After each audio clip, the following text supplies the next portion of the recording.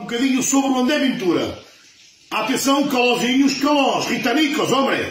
Atenção. Medo na Ana Gomes, por favor. Porque este racista do André Ventura, cuidado, porque ele se ele entrar, isto vai ser uma bomba, filho. Porque ele se ele entrar, isto vai arrebentar com Portugal todo.